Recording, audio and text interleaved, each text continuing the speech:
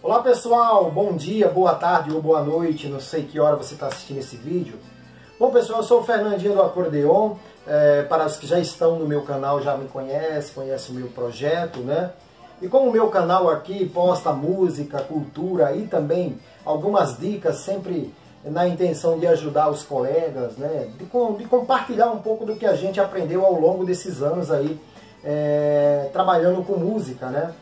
Bom pessoal, no meu canal aí sempre surge tanto no canal quanto as pessoas às vezes me, me mandam mensagem no meu WhatsApp perguntando, Fernandinho, como que eu limpo minha sanfona? Como que eu deixo minha sanfona brilhando sem estragar o instrumento, né? sem estragar o celuloide, essas partes delicadas da sanfona, como que eu faço para limpar? Então resolvi fazer um vídeo hoje, o vídeo vai ficar um pouquinho longo, porque eu quero te mostrar alguns passos, tá? Mas assistam o vídeo aí até o final que você vai aprender é, a forma que eu limpo as minhas sanfonas e alguns colegas, diria para vocês que acho que mais de 70% dos sanfoneiros que, que têm seus instrumentos, eles limpam dessa forma, tá ok? Quero começar para vocês apresentando primeiro essa cera, tá? Olha, cera de polir automotiva, não sei se vai dar para vocês ler, tá? Mas a, a lata é muito conhecida, tampinha vermelha, você vai chegar lá, olha cera polidora automotiva com silicone e carnaúba. Tá ok, pessoal? A joia dos polidores. É uma cera, ela não é muito barata, ela custa uns 20, dependendo da sua região, vai pagar uns 30 reais aí, de 20 a 30 reais. Mas é uma lata aqui que vem com 500 ml, dura bastante, nossa. Essa aqui acho que é a minha segunda lata que eu compro já há tempão que eu venho usando. Aí você vai ter, ter essa cera, essa estopinha é aquela mesma estopa, tem um saquinho aqui, né? É aquela estopa que é usada uh, nos funileiros, né? Eles usam para polir os carros. Pessoal, não estou fazendo comercial dessas marcas não, tá? Tô ganhando nada com isso não, é gratuito também. Mas tá até aqui a bandeira para que vocês comprem, né? É algo parecido, né? Se não igual. A cera também não estou fazendo o comercial da cera, mas é porque é a mais recomendada, tá ok? Aí você pega uma buchinha dessa que é para você pegar e adicionar cera. Sendo que você vai aqui fazer isso aqui, ó. Olha só, com a lata aqui, né? Aí você vai vir, vai vir aqui no instrumento e vai passar um pouco de cera e vai meio que polir. Não precisa esfregar muito não, viu pessoal? Ó, você vai vir, vou até levantar aqui para mostrar para vocês. Passa um pouco de cera. Aí vem com essa buchinha aqui, que é a segunda buchinha, essa aqui é para você tirar essa cera.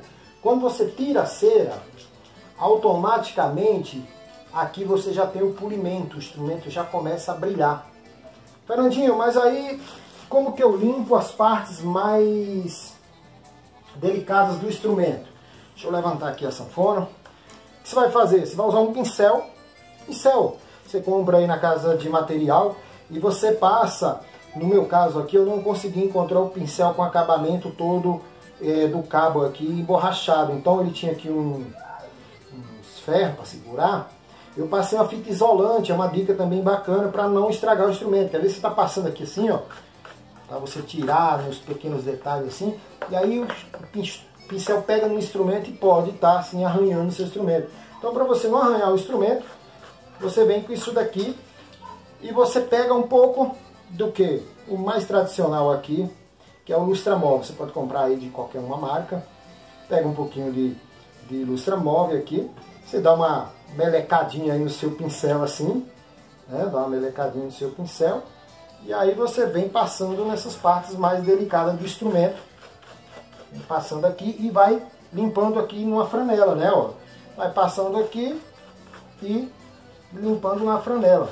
O meu não está muito sujo a sanfona porque ó, esses detalhezinhos, ah, tudo esses mais profundos com pincel. Fernandinho, mas esse pincel não está tirando ah, o meu nome aqui, ó, seja da Escandalo, da Excelso, é, não, não, limpa legal, fica sujo. Aí entra esse, esse terceiro item aqui, uma escova velha de dente. De preferência uma escova que tenha os pelinhos mais durinhos, né? Pode comprar nova também.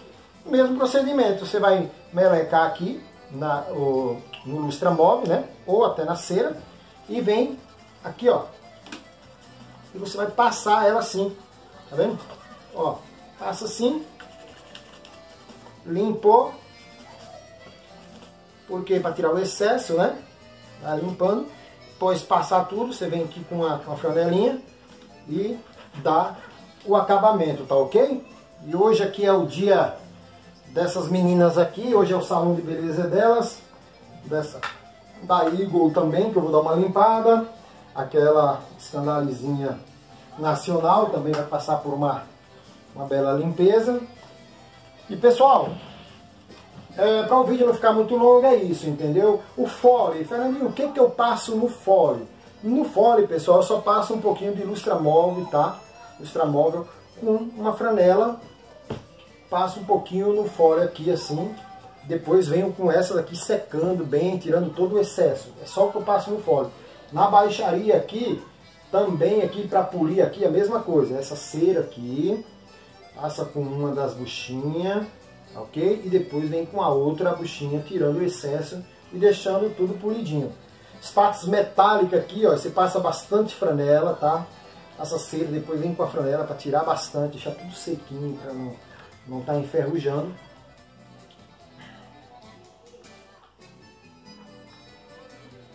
Então é isso aí, pessoal. Se você acha que esse vídeo foi legal, se acha que te ajudou e você pode estar ajudando outros colegas, você compartilha esse vídeo aí com seus colegas que têm sanfona, tá ok? Não se esqueçam de se inscrever aí no canal e clicar no sininho de notificações, deixar ativado, para que você receba algumas dicas que a gente tem aí no canal e outras que virão, tá ok?